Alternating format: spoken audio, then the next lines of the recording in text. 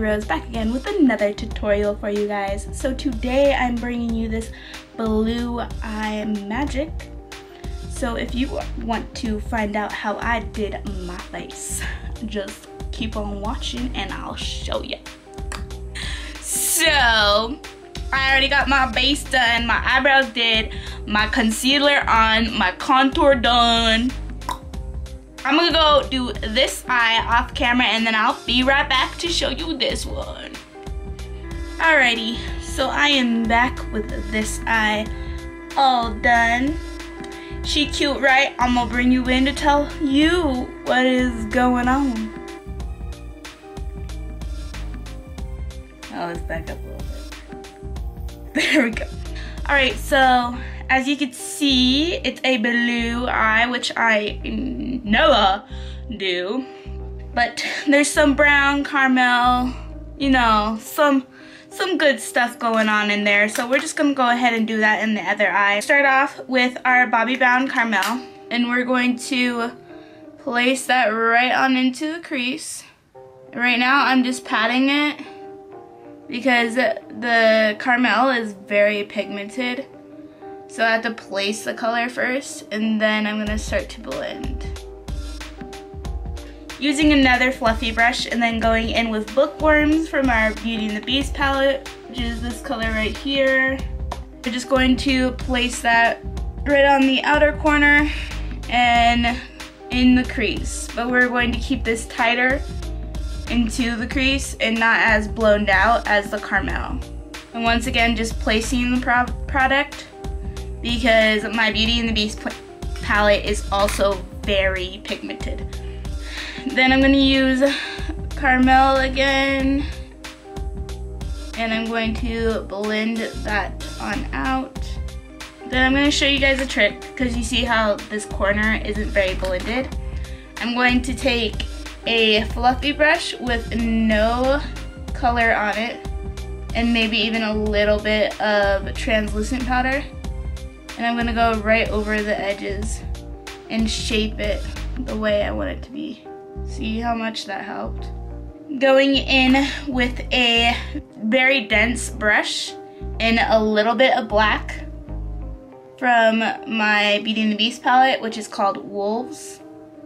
And just placing that right on the inner corner and barely dragging that through the crease. This will just help create some depth. But we don't want too much black because we really don't want black. we want it to be more brown. So we're going to go back in with Bookworm and we're going to really try to blend that out. Trying to keep Bookworm not too far up and we're going to place it right over wolves. Then going in with Caramel and blending out that brown and trying to bring a little bit more warmth to it because Bookworm and Wolves are, are definitely more cool tone. And I need a little bit of warmth in my eye to actually like it. Then once again, taking a fluffy brush with a little bit of translucent powder on it and making sure it's all blended out. All right, now that we are here, we are going to go ahead and cut our crease and we are going to use our NARS concealer in the color Light Chantilly, I think. I don't know. And I'm using this color because it is way lighter than my skin tone and it will really help that blue pop. Taking a small brush and starting to cut the crease.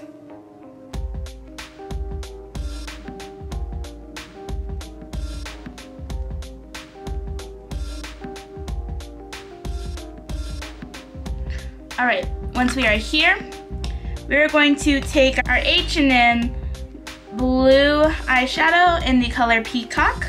And we're going to take this brush right here with a flat top. And we're going to just get a load of the blue, which it's really, really pigmented, so you don't need much.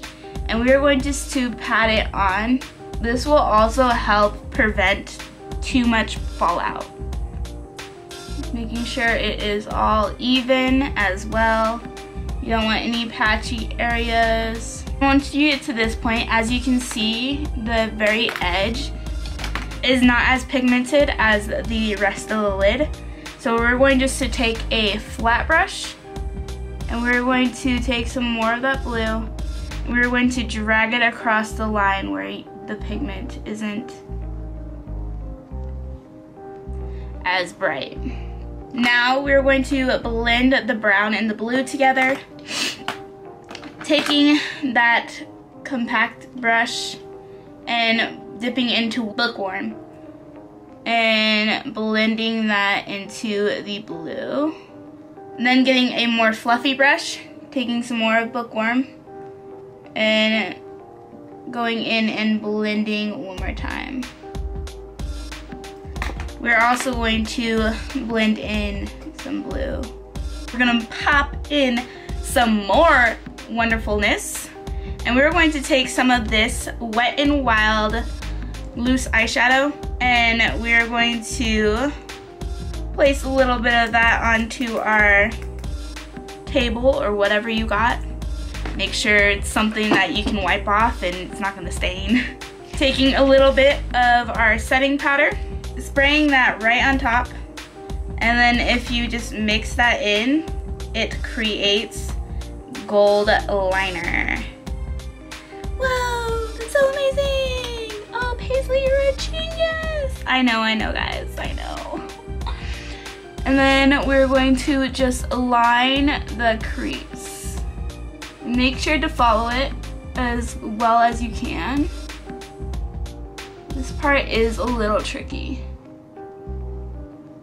And go as slow as you need to go.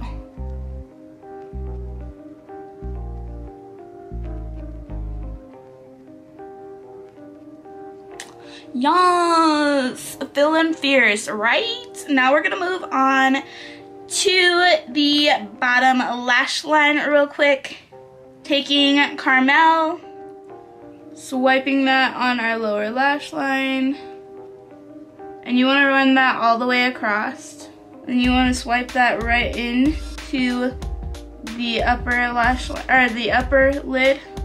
And then taking bookworm and placing that even closer to the lash line and doing the same thing as Carmel. And then lastly, taking wolves and we are going to bring this mostly across the bottom lash line. We're gonna probably stop right about there. And then blending that out, of course. And if necessary, reshape just like that. And then we are going to take H&M's Chin Chin and we are going to use a small brush and we're going to place that right onto the inner corner, just like that. And then our mini fan brush and do our brow bone. Now that we're looking fire as fuck, we're just going to brush away any fallout that we have. Then we are going to go in with some liner. We are going to use our Sephora liner, liquid liner that is. And we are going to just do a small wing.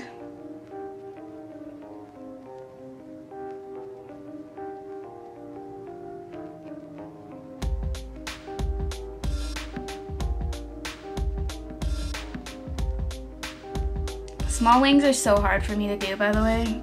I guess my body just knows how dramatic I really am and wants to show it on the outside.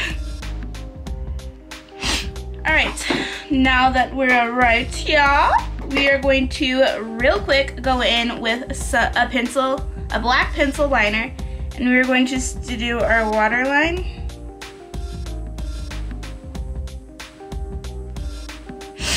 Ooh, oh, eyes got watery. Alrighty, Then we're going to go in and curl our lashes to the heavens. Do some mascara. Our lower lash line. Or not lower lash line, but lower lashes. And then we're going to go in with some lashes. Mm -mm -mm, Waiting for a lash glue dry.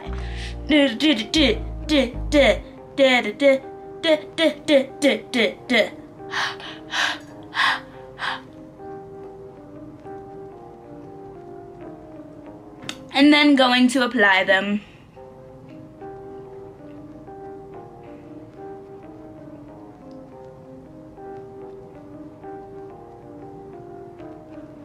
There we go. We is done with the eyes. So now backing y'all up to finish the face. The wrong way, god damn. Can never get this camera right. Alrighty. So we are going to go in with, I don't even know if there's a point of me doing this part of my face anymore because I do the same routine. Our Fenty Beauty highlighter our fan brush.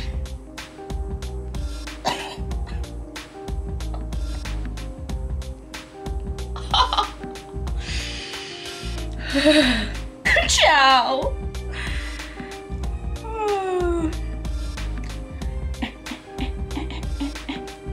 Mini fan brush, Cupid's bow. Max brush, nose.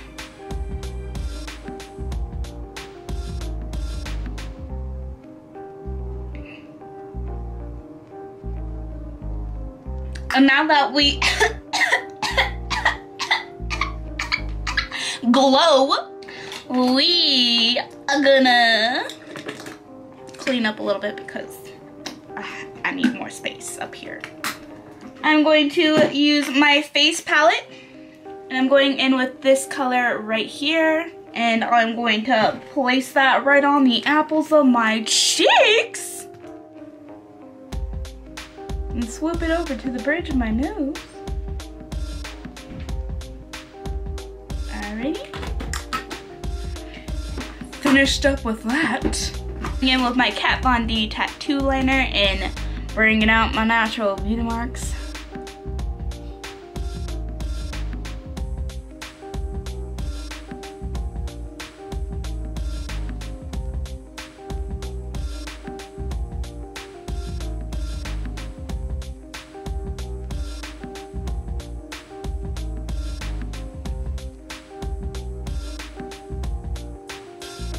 Think I want to warm up my makeup. So I'm going to go in with my Kat Von D's liquid lipstick in Lolita.